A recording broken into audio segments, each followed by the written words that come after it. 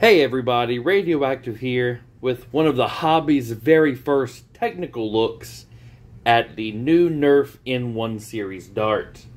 Now we're gonna hop right into it here. I have I've gotten 40 darts. A uh, the weight for those darts I've gotten a low of one of 1.05 grams, a high of 1.11 grams, and an average of 1.082 grams. Getting into some of the dimensions here. Um, the dart is about 60 millimeters long. Um, it is 14.5 millimeters wide. I've gotten that tested with my calipers here. I've tested, so the way I test it is I do it this way. I put the tip of the dart into the calipers and I, uh, I don't clamp it down too hard, but I do clamp it so that it's not going to fall through. Then I slowly undo until it starts just barely sliding out. And over five darts, 14.5 millimeters is when that happened. So getting into some more, even more technical, this tip here is hollow. So the air inside the dart can get out.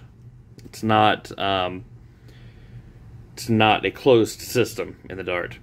So the diameter of the nub here is 7.5 millimeters uh, diameter and 4.25 millimeters uh, tall. The head is also 4.25 millimeters tall and it is 13.6 millimeters wide. So, we've gotten a couple of uh, we've gotten a couple of dimensions out of the way. Now let's get into potential barrel material. So I have uh, a scrap piece from a project. Um, this is uh, 1930 seconds, and this is 5 eighths. Both thin wall 0.014 inch wall thickness. So we have the 5 eighths on this side. As you can see, it's a little bit loose. It kind of just falls out. And then we have the uh, 1930 seconds. A fairly tight fit. It's a, it's a good brass barrel fit. Um, I feel like uh, 5 8 double thick 5 8 so 5 eighths by 0.029 wall um, would be a really, really good um, barrel material. It's going to be the same outer diameter as a lot of barrels in the hobby right now.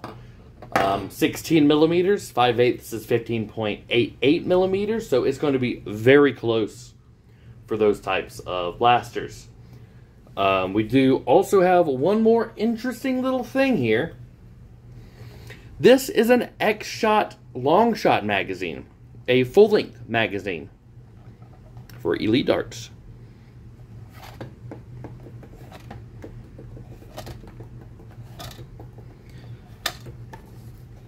They all feed smoothly.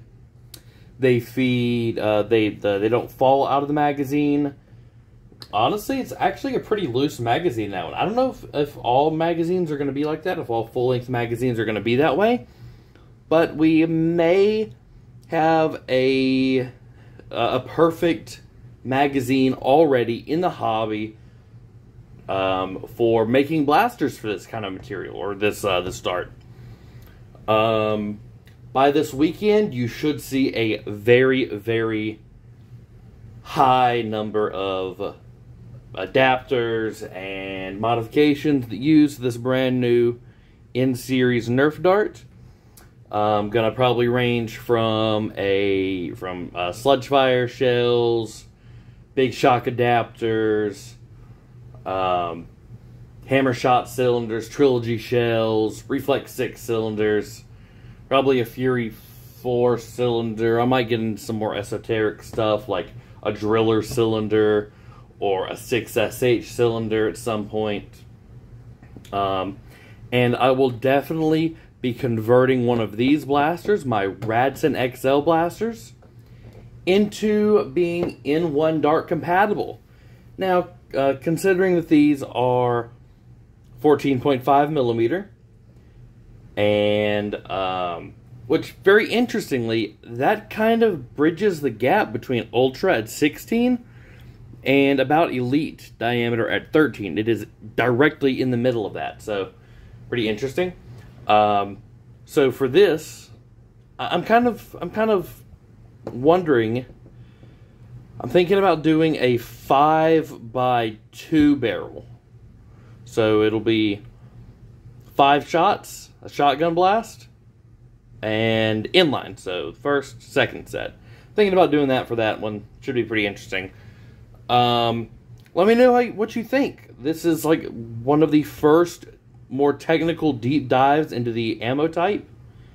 Um, let me know if you're interested in this ammo type. If you're really, um, really looking forward to the things that can be done with this ammo, the pretty standard adapters and conversions that this ammo will bring. Um, I'm sure it'll count as light ammo in most HVZs, but I, I have been surprised before, so it, it could be a, it could be anything really. Um, leave a like, comment, subscribe. It's been Radioactive, and I hope you have a great day.